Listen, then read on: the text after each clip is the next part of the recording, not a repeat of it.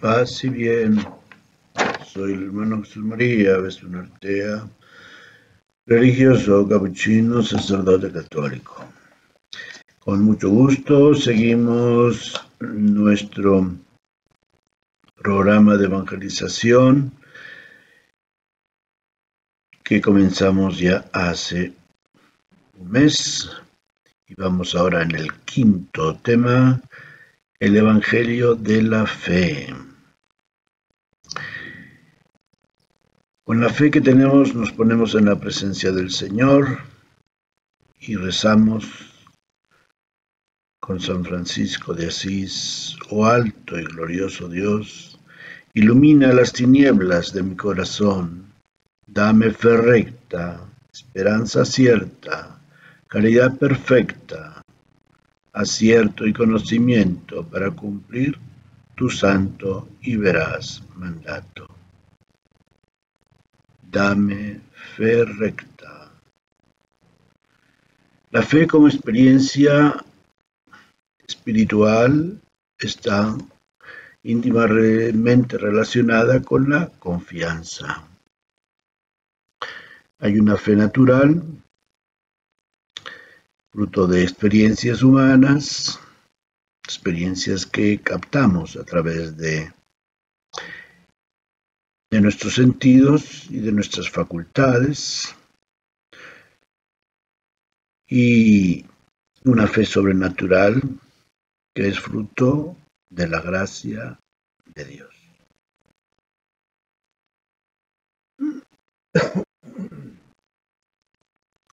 La escritura, Nuevo Testamento, tenemos textos muy, muy elocuentes como Romanos 10, 14, 17, Hebreos 11, del 1 al 4 y del 8 al 12, versículos me refiero. También en la carta a los romanos, del capítulo 3, versículos 21 al 30, y la carta a los Efesios, capítulo 2, versículo 4 al 10. Por ejemplo, Romanos 3 nos dice San Pablo, la salvación por la fe. No voy a leerlo todo, pero parte de él. Ahora, con independencia de la ley, se ha manifestado la fuerza salvadora de Dios atestiguada por la ley y los profetas. Fuerza salvadora de Dios que por medio de la fe en Jesucristo llegará a todos los que crean. Y no hay distinción porque todos pecaron y todos están privados de la gloria de Dios, pero ahora Dios lo salva gratuitamente por su bondad en virtud de la redención de Cristo Jesús, a quien ha hecho mediante la fe en su muerte, en su misterio pascual, instrumento de perdón. Ha manifestado así su fuerza salvadora pasando por alto los pecados cometidos en el pasado, porque Dios es paciente, pero es ahora, en este momento, cuando manifiesta su fuerza salvadora al ser él mismo Salvador y salvar a todo el que cree en Jesús. Entonces, ahí está el misterio de la salvación a través de la fe. Bueno, tenemos luego también el capítulo 10 de la misma carta, versículo 14 al 17, que nos dice,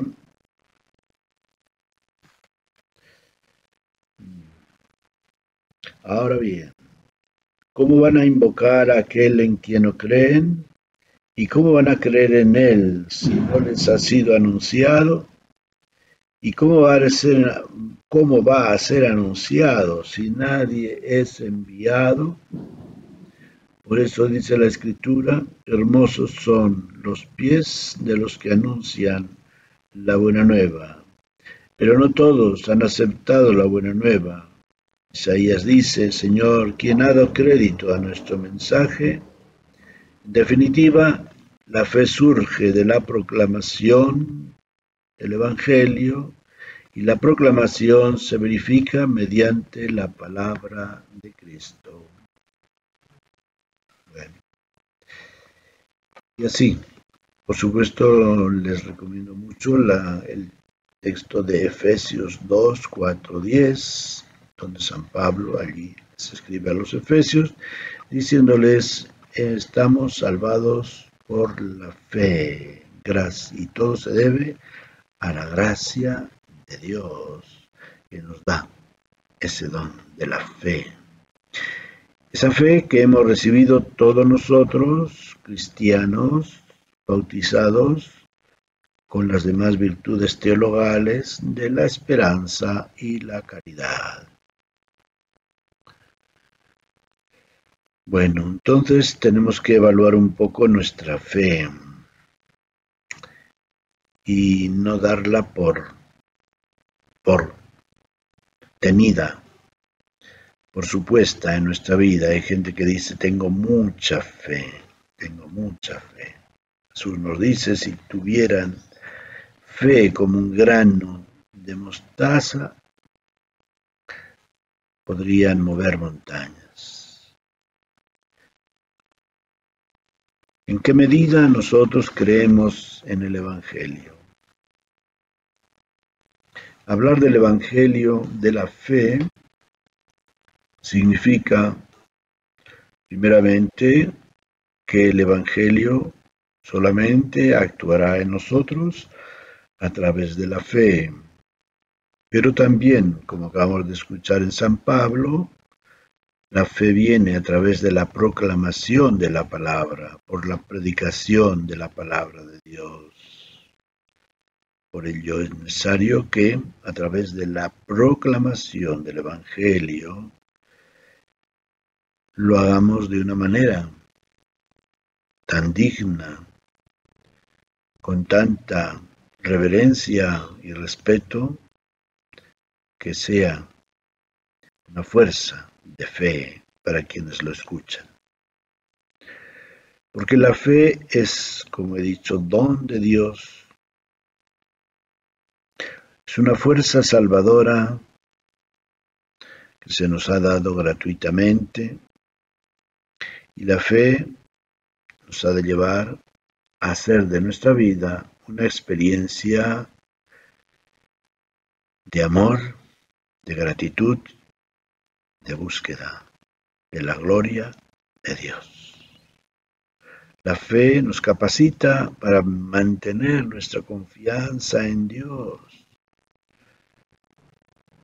y por Él arriesgar la vida La fe es una fuerza misteriosa que ha hecho tantas maravillas en cristianos que se han dejado guiar por ella. Creo en Jesús, creo en Jesús. Él es mi amigo, Él es mi amor, Él es mi Señor y mi Salvador. Esta fe en Cristo, Salvador y Señor, es la fuerza que mueve a los apóstoles, que mueve a los cristianos que dan testimonio real de Cristo. Sin embargo, hay otro aspecto importante que hemos de considerar específicamente, aunque ya lo he sugerido, eh, y es lo que nos dice Santiago Muestra fe tu, muéstrame tu fe sin obras, y yo por mis obras te mostraré mi fe. La fe, como la vida, se muestra en las obras. Si una persona no se mueve, no respira, está muerta. Si un cristiano que tiene fe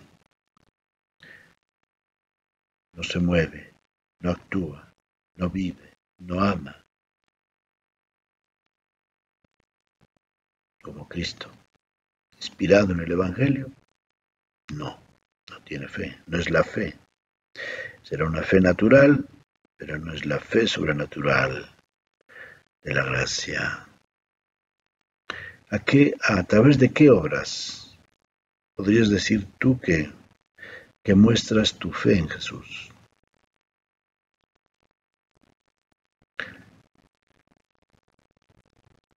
Jesús nos dice, quien quiera ser mi discípulo, renuncie a sí mismo, tome la cruz y sígame. Pero recuerden aquel joven que quería conseguir la vida eterna, pero cuando Jesús le dijo, vende todo lo que tienes, no supo, no tuvo la fuerza para renunciar a sus bienes, porque en ellos estaba su seguridad. Renunciar a sus bienes era renunciar a sí mismo. Y eso es más difícil, renunciar a ti mismo, renunciar a todo aquello en lo que, cual tú estás acostumbrado a poner tu seguridad como persona, el amor de tu familia, el dinero, tu carrera, tu título. Piensa, la fe del cristiano, concretamente, está centrada en, en Dios. Dios Padre, Dios Hijo, Dios Espíritu Santo. Muchas veces he preguntado yo, Para ti, ¿tú qué crees? ¿Crees en doctrinas o crees en personas divinas? O en personas, suelo decir. La pregunta es un poco capciosa, la digo así. ¿Crees en doctrinas o en personas? Y bueno, pues cuando escuchan esa pregunta, muchos no piensan que me estoy refiriendo a personas divinas y no piensan en personas humanas. Y claro, pues la mayoría responde no. Yo creo en doctrinas. Pues no, hermano. Hermana, creemos en personas, pero divinas, que son el Padre, el Hijo y el Espíritu Santo. Creemos en el amor y en la providencia, en la misericordia de Dios, nuestro Padre, nuestro Creador, que provee por nuestra vida momento tras momento. Y así nos lo enseñó Jesús es la buena nueva. De Jesús del sermón de la montaña, no se preocupen ni por lo que van a comer, ni por lo que van a beber, porque su Padre sabe muy bien lo que necesitan. Creemos en la persona divina de Jesús, que es nuestro Salvador y Señor. Tanto amó Dios al mundo que le dio a su Hijo para que todo el que crea en Él, todo el que crea en Él, tenga vida eterna creer en Él como nuestro Salvador y Señor. Porque ante Él se ha de doblar toda rodilla, en el cielo, en la tierra, en el abismo.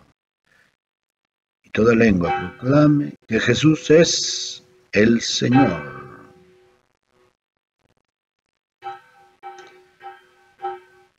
Y también creemos en el Espíritu Santo, nuestro compañero de vida, nuestro maestro, nuestro compañero que hace su morada en nosotros. No, no va junto a nosotros, va con nosotros, en nosotros.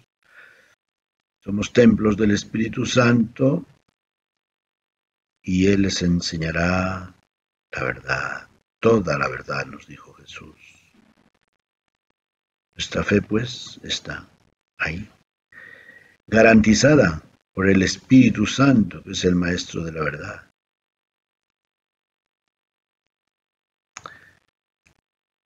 Les hablaba hace un momento sobre, citando a Santiago, de cómo la fe va acompañada de obras. Como la vida se manifiesta en el movimiento, en las obras. Jesús, por ejemplo, nos voy a citar varios casos de esta fe mm, tomados del Evangelio, por ejemplo, cuando la mujer hemorroísa se acerca a Jesús y Jesús le dice, tu fe te ha salvado, tu fe te ha salvado. Esta mujer se ha acercado a Jesús y ha pensado que tocando la orla de su vestido quedaría sana. Jesús le dice, tu fe te ha salvado, pero la fe en Jesús se ha acercado a Jesús, como aquel ciego a la vera del camino que también se acerca a Jesús. Jesús le dice a Jairo, aquel hombre que le apremiaba a Jesús que fuera a su casa porque su hija estaba a punto de morir, le dice, todo es posible para quien tiene fe, y es que Jairo le dice a Jesús, bueno, si puedes hacer algo, es que mi, hija está tan mal. Jesús le dice, todo es posible para quien tiene fe. A la mujer sirofenicia que le pide por, las, por la salud espiritual de su hija, porque dice que tiene un mal espíritu, le dice Jesús, mujer, qué grande es tu fe. Esta mujer ha hecho un gran camino, quizá para ir hasta donde Jesús vivía, porque no era de, la tierra de Judea de Samaria, era de Tiro y Sidón, eran otras ciudades fuera del pueblo Israel, y, en un acto de su admirable humildad le dice que también los perritos se alimentan de las migajas que caen de la mesa de su Señor, y ante eso Jesús se siente ya desarmado de esa fe. Mujer, qué grande es tu fe, le dice. Jesús eh, reprocha a los apóstoles su falta de fe cuando lo despiertan en la barca porque están a punto, según ellos, de naufragar. ¿Qué significaba para los apóstoles en el momento tener fe? Según ellos, despertar a Jesús para que lo salvara. Pero Probablemente en la mente de Jesús era que ellos estaban dispuestos a todo siempre y cuando Cristo estuviera con ellos. Y esto es hermosa experiencia cristiana. Cuando Cristo está contigo, aviéntate a lo que sea. Y la fe en Cristo te dará alas si tienes que volar, te dará pies si tienes que caminar, te dará manos si tienes que ayudar o abrazar, te dará entusiasmo para amar, para servir. También Jesús nos dice, o les dice a los apóstoles, si tuvieran fe como un grano de mostaza, fíjense, qué reto para todos nosotros, sobre todo para quienes creen que tienen mucha fe. Si tuvieran fe como un grano de mostaza, le dirían a ese monte, cámbiate de lugar, y les obedecería. Por eso, ante esas palabras de Jesús, los apóstoles humildemente le dicen, Señor, aumentanos la fe, aumentanos la fe. Cristo, Cristo es el autor, Cristo es el dador de la fe. Y luego, finalmente, el caso de Isabel, cuando le visita María, su prima, allá en Aincarén, porque va a ayudarla, está en su sexto mes. según le ha dicho el ángel. Y Isabel le dice, Isabel le dice a María, dichosa tú que has creído. María ha confiado su vida. Cuando el ángel le ha dicho que iba a ser madre del Mesías, pero ella no, todavía no convivía con su esposo. El ángel le ha dicho que todo eso sería obra de Dios y María simplemente con humildad le ha dicho hágase en mí según tu palabra. María ha entregado su vida a Dios. Son experiencias de fe que tienen sus efectos en la vida, que tienen su proyección en la vida, que deben de tener su proyección en la vida. Y si no, esa fe no es la fe cristiana. La fe en Cristo, Salvador y Señor, es la fe que nos da la confianza de que estamos salvados y de que en Cristo Señor tenemos toda la fuerza, toda la energía para hacer las obras que Él hizo y todavía mayores, son palabras suyas. Y crea en mí, hará las obras que yo hago y todavía mayores. Y así vemos santos que han vivido una vida tan admirable, o quizá más admirable que la de Cristo. Eso pues puede sonar, puede sonar difícil de entender, pero, pero él mismo lo, dijo. Todavía mayores, harán obras todavía mayores que las que yo he hecho. ¿Eh? Recuerden el Evangelio. Entonces, Jesús, pues son tres años de ministerio, de servicio, ciertamente que, según nos cuenta el Evangelio de la infancia, pues lo pasó mal, los primeros años y, y luego los tres años de ministerio, bueno, pues, pues fueron tres años ¿sí? de itinerancia, de andar de aquí para allá, sirviendo a los demás, que a veces no tenían tiempo ni para comer, y luego su muerte pues fue una muerte admirable, heroica, ¿verdad? Pero ha habido santos admirables también. Más o menos que Cristo, eso no lo sabemos, no lo podemos juzgar, pero humanamente hablando, no podemos negar que la vida del padre Damián de los leprosos fue una vida heroica cuando se encierra ya en la isla del Pacífico con, con los leprosos en Molokai y allá quiere vivir y morir con ellos, víctima de la lepra.